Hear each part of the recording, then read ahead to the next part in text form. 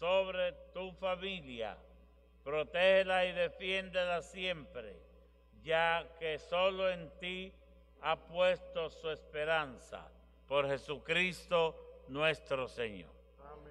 Nos sentamos, escuchamos la palabra de Dios. Hoy vamos a presenciar la primera comunión de una madre con sus hijos que están aquí delante. Se bautizaron ayer todos y hoy hacen la primera comunión. Cuando llega la enfermedad, surge en nosotros una pregunta por el sentido o significado y dirección de nuestra propia existencia, y que a veces puede ser que no encontramos una respuesta inmediata como le pasó a Job. En estos momentos solo nos queda gritar incesantemente a Dios que al final siempre responde y nos hace descubrir nuevos horizontes. Escuchemos con atención la primera lectura tomada del libro de Job.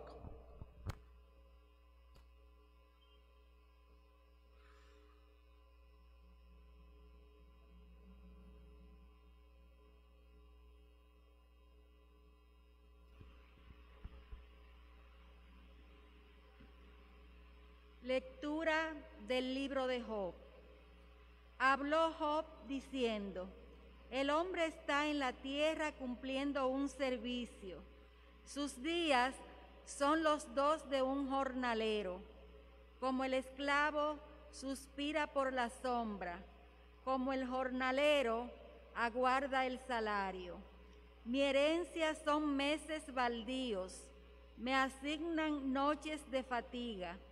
Al acostarme pienso, ¿Cuándo me levantaré?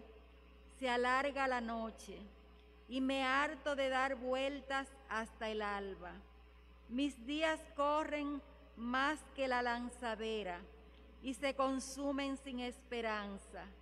Recuerdo que mi vida es un soplo y que mis ojos no verán más la dicha. Palabra de Dios. Te alabamos, Señor.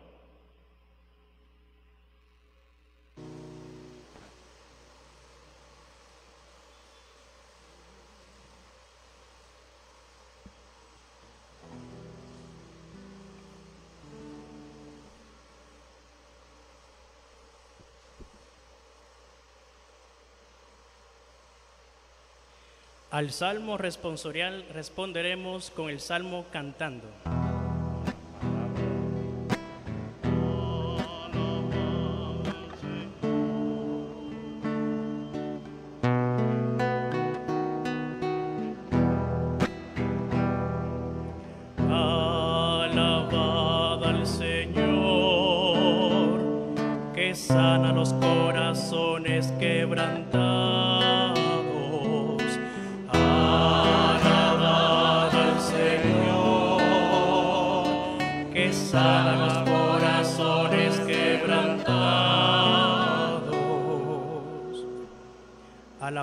Al Señor, que la música es buena. Nuestro Dios merece una alabanza armoniosa. El Señor reconstruye Jerusalén, reúne a los deportados de Israel, todos. Alabad al Señor, que sane los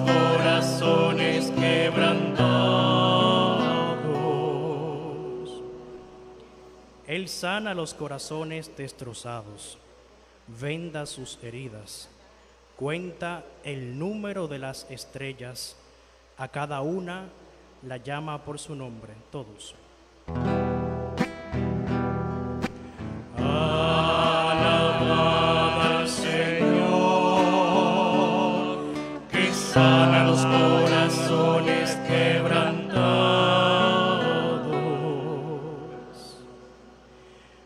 Nuestro Señor es grande y poderoso, su sabiduría no tiene medida. El Señor sostiene a los humildes, humilla hasta el polvo a los malvados, todos. Alabad al Señor, que sane los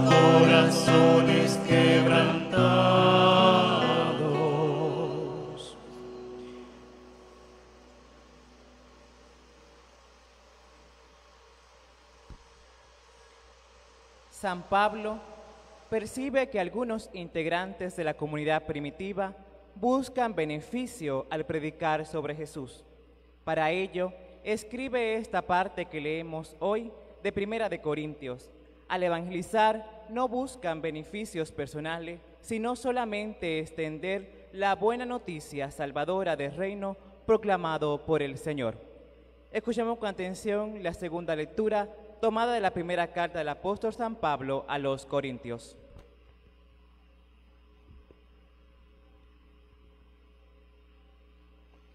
Hermanos, el hecho de predicar no es para mí motivo de soberbia. No tengo más remedio y hay de mí si no anuncio el Evangelio. Si yo lo hiciera por mi propio gusto, eso sería mi paga. Pero si lo hago a pesar mío, es que me han encargado este oficio. Entonces, ¿cuál es la paga? Precisamente, dar a conocer el Evangelio, anunciándolo de balde, sin usar el derecho que me da la predicación de esta buena noticia. Me he hecho débil con los débiles para ganar a los débiles. Me he hecho todo a todos para ganar, sea como sea, a algunos. Y hago todo esto por el Evangelio, para participar yo también de sus bienes. Palabra de Dios. Te alabamos, Señor. Puestos de pie y con el canto escuchamos la predicación del Santo Evangelio. Uno de los grandes signos que mostraba que Jesús había llegado al reino de Dios es la curación de los enfermos y la liberación de los oprimidos por el maligno. Sus seguidores estamos llamados a cuidar de los enfermos como Jesús se detenía, escuchaba y establecía una relación directa y personal con el otro. Sentía empatía y conmoción por ellos y se involucraba con su sufrimiento. Puesto de pie y luego del canto escucharemos el Santo Evangelio tomado según San Marcos.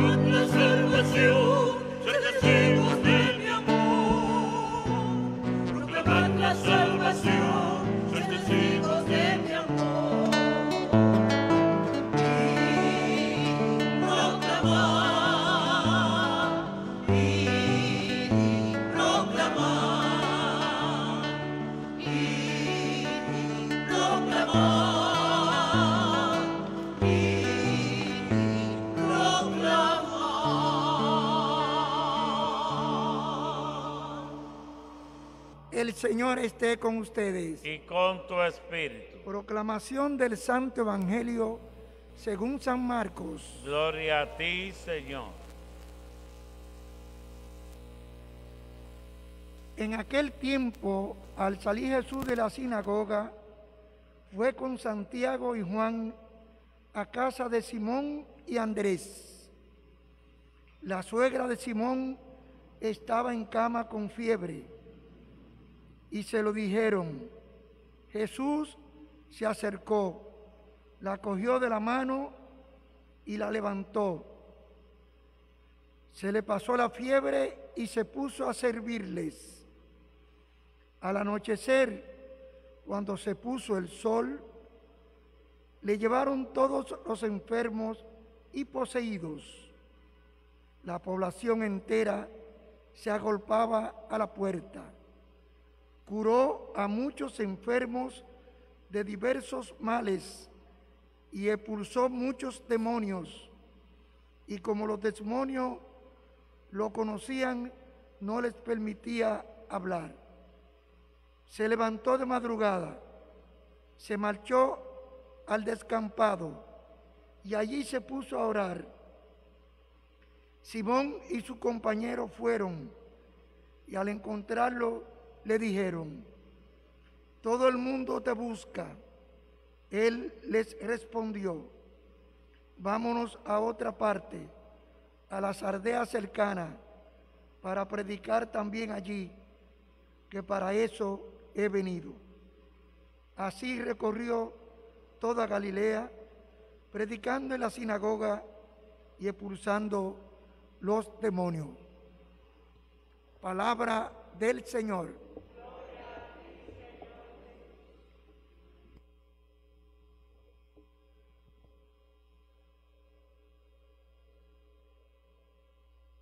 Siéntense, hermanos y hermanas. Paz y bien. En este domingo quinto del tiempo ordinario, nos presentan a Jesús sanando, predicando y haciendo el bien. Y a San Pablo que nos predica y nos dice hoy, ay de mí si yo no anuncio el Evangelio. Y tengo que hacerlo gratis. Es un compromiso de todo bautizado. Proclamar, dar a conocer a Jesús por todas partes. El libro de Job, en la primera lectura, nos hace una aseveración muy clara, muy consciente. Por lo menos a mí esta expresión me ha impactado siempre en el libro de Job. El hombre está en la tierra cumpliendo un servicio. Estamos aquí para cumplir con un servicio. Nadie viene a esta tierra sin una misión. Tenemos que descubrir cuál es esa misión. Porque dependiendo de esa misión, cuando partamos para el cielo, porque aquí estamos prestados, por aquí pasamos, dice la misma lectura. Tenemos que irnos, pero tenemos que presentarnos al Señor con las manos llenas de bienes. No pasar por esta vida sin hacer el bien a los hermanos.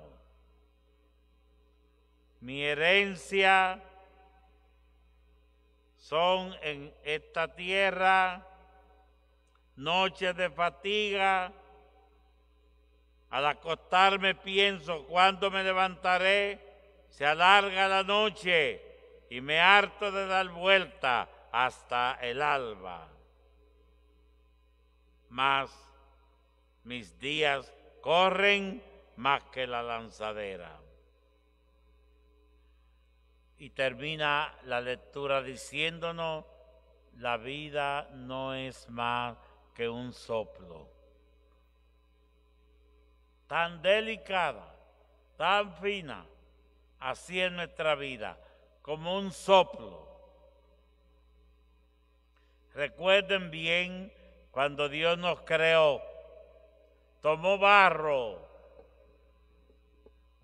y sopló sobre este barro. Y ese barro recobró vida. La vida no es más que un soplo. Y cuando termina la vida, ese soplo sale de la materia. El espíritu, el alma, lo que nos da consistencia. Aprovechemos, hermanos y hermanas, y cuestionémonos. ¿Cuál es mi misión en esta tierra? Tengo que predicar el Evangelio. Y la palabra de Dios no se equivoca. La palabra de Dios tiene que encontrar una respuesta en nuestra vida.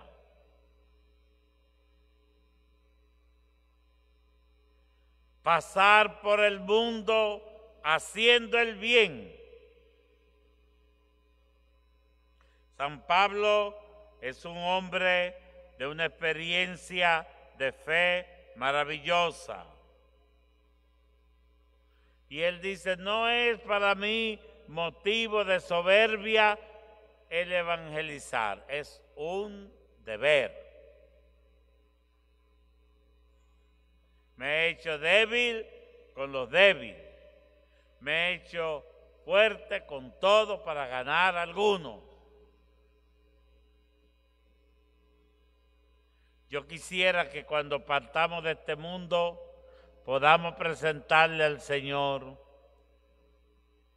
nuestra vida colmada de frutos.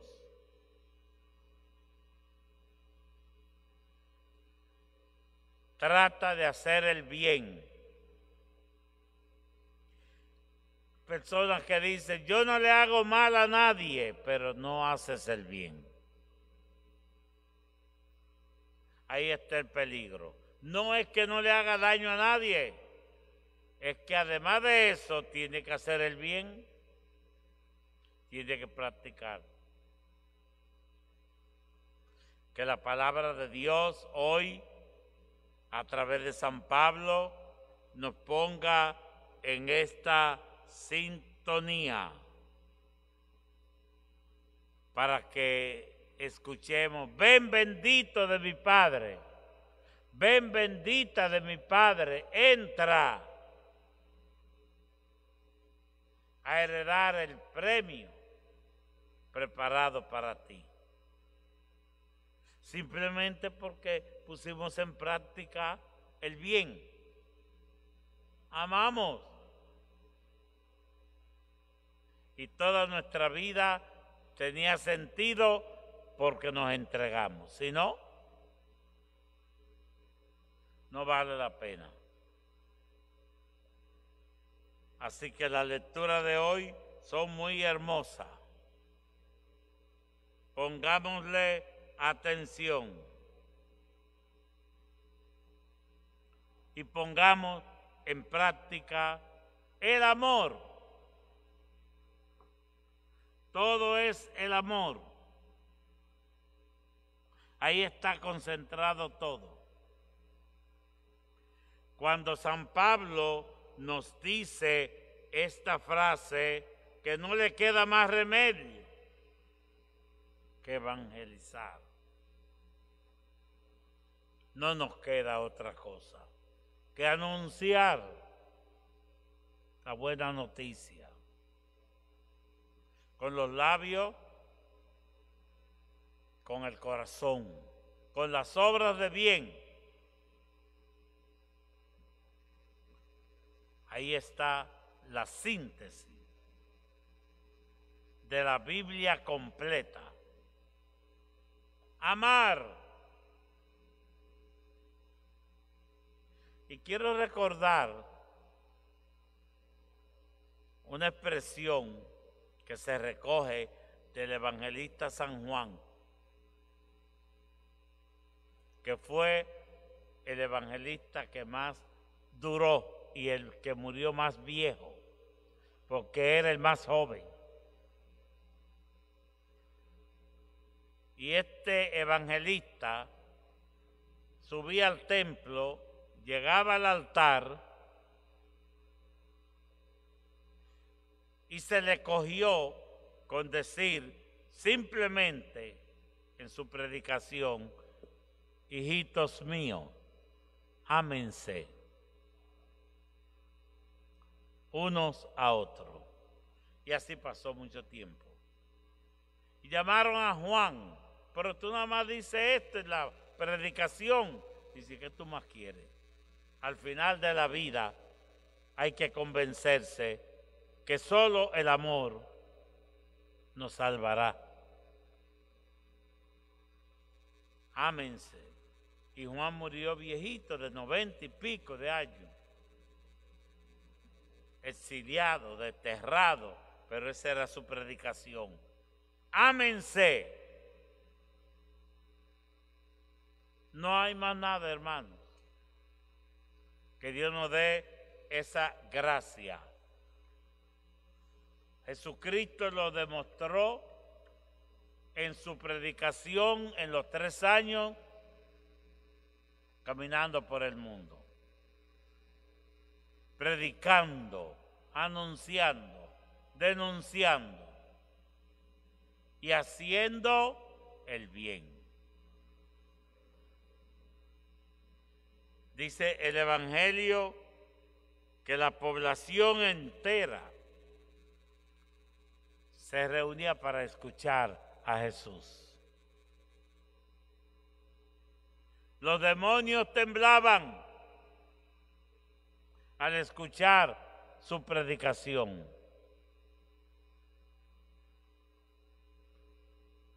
Y Jesús nos invita al servicio. Todo el mundo te busca. Todo el mundo te busca, decían de Jesús. ¿Pero por qué?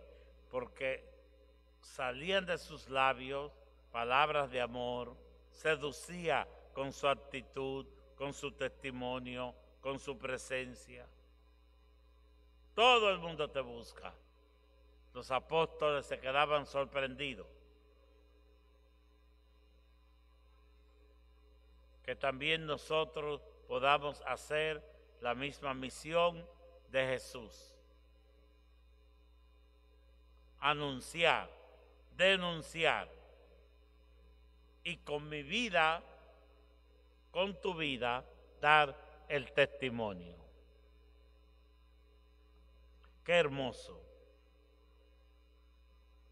Y quiero terminar diciéndote, durante esté en esta vida, durante estemos en esta vida, no apartemos nuestra mirada de la mirada de Jesús.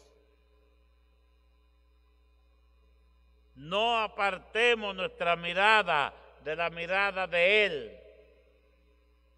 Él nos mira y nos llama y nos invita.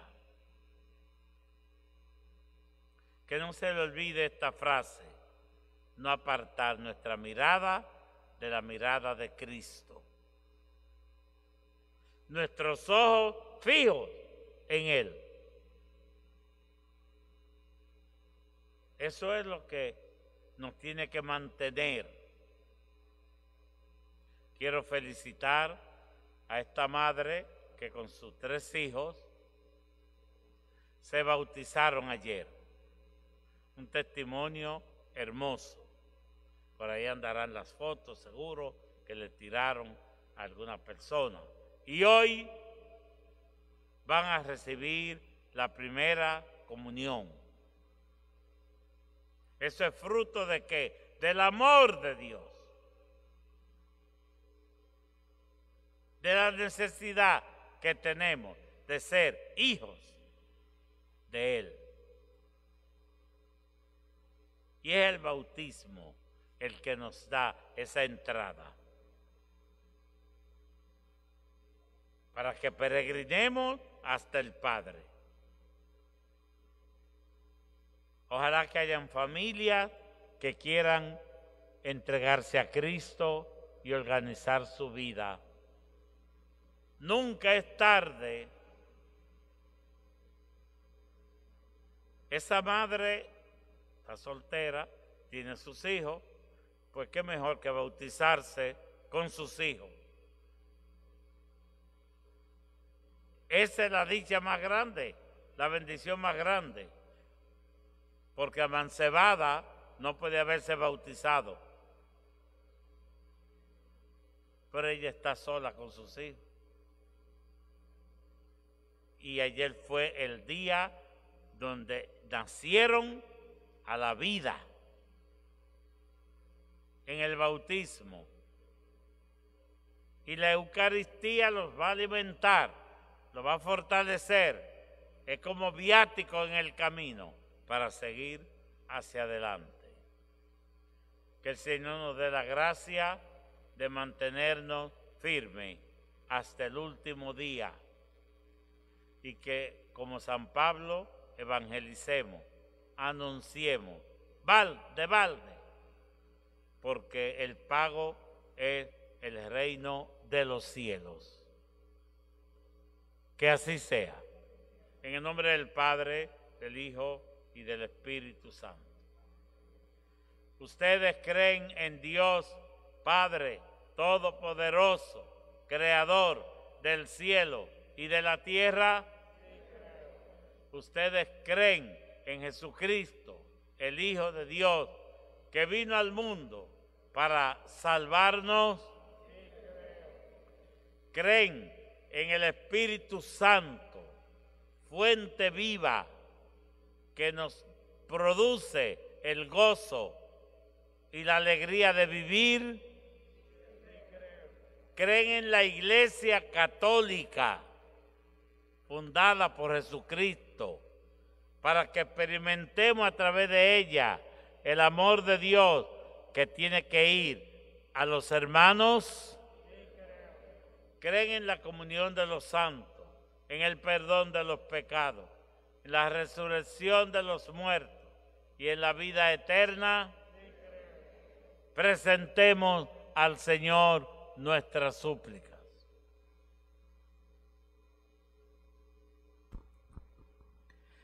Oremos por la Santa Iglesia, para que el Señor regale a sus evangelizadores libertad de espíritu para anunciar la buena noticia a los marginados de la historia y a toda persona sin esperanza, oremos al Señor. Te rogamos, oye. Por el Papa Francisco, los obispos, sacerdote y todo el pueblo de Dios, para que ejemplo de Jesús estemos siempre cerca de los enfermos, de los que sufren y de los que claman la libertad, oremos al Señor. Te rogamos. Por los que gobiernan las naciones, por lo de nuestro país, para que trabajen por la salud de sus pueblos y den una respuesta a la crisis de esta pandemia, oremos al Señor. Te rogamos, oye. Por los enfermos del mundo, especialmente los afectados del COVID-19, para que encuentren la salud y el consuelo de quienes les asisten, oremos al Señor. Te rogamos, oye. Por los médicos, enfermeras y todo el personal de salud y la pastoral de la salud, para que Dios fortalezca su disposición de trabajar con amor por la salud y el bienestar de los enfermos, oremos al Señor. Te rogamos, oyen. Para que el Señor suscite a su pueblo vocaciones al sacerdocio y a la vida consagrada y laicos comprometidos, para que anuncien su palabra y bendigan a los que siguen recibiendo su llamada, oremos al Señor. Te rogamos, óyenos. Por todos nosotros que participamos de esta celebración eucarística, para que como Pablo nos lancemos al anuncio del reino de Dios y seamos cercanos a todos los enfermos y a los que sufren por cual causa, oremos al Señor. Te rogamos, óyenos. Gracias, Padre, por Jesucristo, nuestro Señor. Nos sentamos, presentamos el pan y el vino con nuestra ofrenda para la iglesia.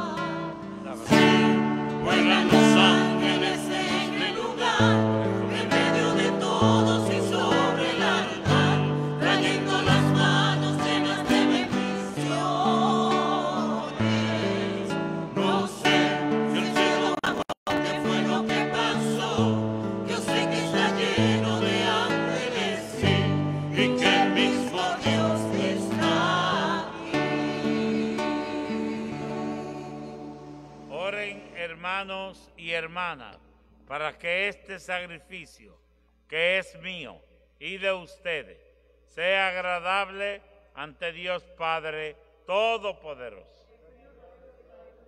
Este sacrificio para la alabanza y gloria de su nombre, para nuestro bien y el de toda su santa iglesia.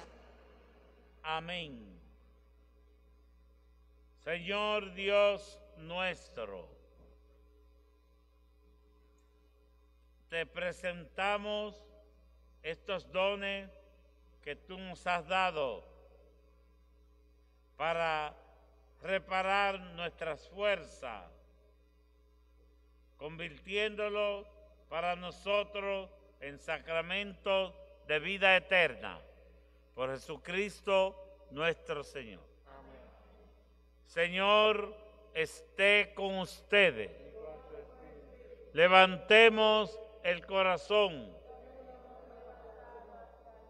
Demos gracias al Señor nuestro Dios.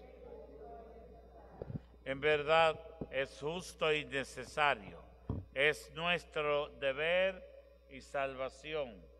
Darte gracias siempre y en todo lugar, Señor Padre Santo, Dios Todopoderoso y Eterno, porque nos une en el amor y al amor nos llama para que podamos vivir constantemente haciendo tu santa voluntad. Pues por amor creaste al hombre y aunque condenado justamente, lo redimiste con tu misericordia por Cristo, Señor nuestro. Por eso los ángeles y arcángeles y todos los coros celestiales celebran tu gloria cantando dignamente este himno de alabanza.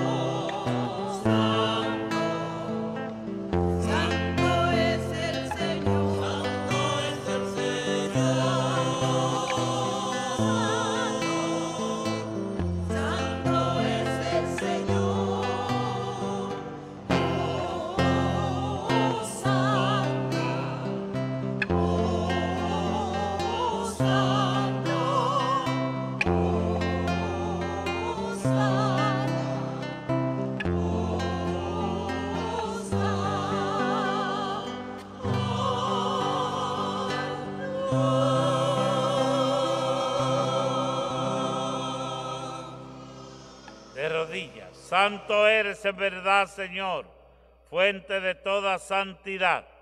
Santifica este pan y este vino con la fuerza de tu Espíritu, para que se conviertan en el cuerpo y sangre de Jesucristo nuestro Señor, el cual, cuando iba a ser entregado a su pasión, voluntariamente aceptada, tomó pan, dándote gracias lo partió y lo dio a sus discípulos diciendo, tomen y coman todos de él, porque esto es mi cuerpo que será entregado por ustedes.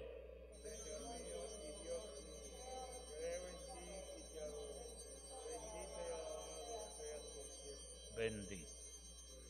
Eucaristía, milagro de amor. Del mismo modo, acabada la cena, tomó el cáliz y dándote gracias de nuevo, lo pasó a sus discípulos diciendo, tomen y beban todos de él, porque este es el cáliz de mi sangre, sangre de la alianza nueva y eterna, que será derramada por ustedes y por muchos para el perdón de los pecados. Hagan esto en conmemoración mía.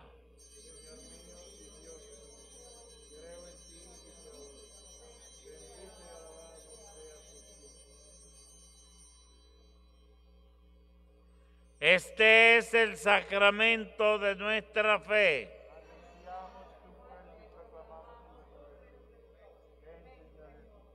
De pie. Así pues, Padre, al celebrar ahora el memorial de la muerte y resurrección de tu Hijo, te ofrecemos el pan de vida y el cáliz de salvación. Y te damos gracias porque nos haces dignos de servirte en tu presencia. Te pedimos humildemente que el Espíritu Santo congregue en la unidad a cuantos participamos del cuerpo y sangre de Cristo. Acuérdate, Señor, de tu iglesia, extendida por toda la tierra, con el Papa Francisco, con nuestro obispo Francisco Osoria y todos los obispos, sacerdotes que cuidan de tu pueblo. Llévala a su perfección por la caridad. Recuerda a tus hijos, Hugo Rafael, Diácono Tomás Paredes, Jesús Castillo, Ana Gregoria, Silvestre Paulino, María Esther, Reinaldo Antonio, Paterra, y todos los que han muerto en tu misericordia. Admítelo a contemplar la luz de tu rostro. Ten misericordia de todos nosotros, de los que estamos en esta Eucaristía, de esta madre con sus hijos y de todos aquellos que necesitan más de tu amor, de tu gracia, de tu misericordia. Y así con María la Virgen, San José, los apóstoles y cuantos vivieron en tu amistad a través de los tiempos, merezcamos por tu Hijo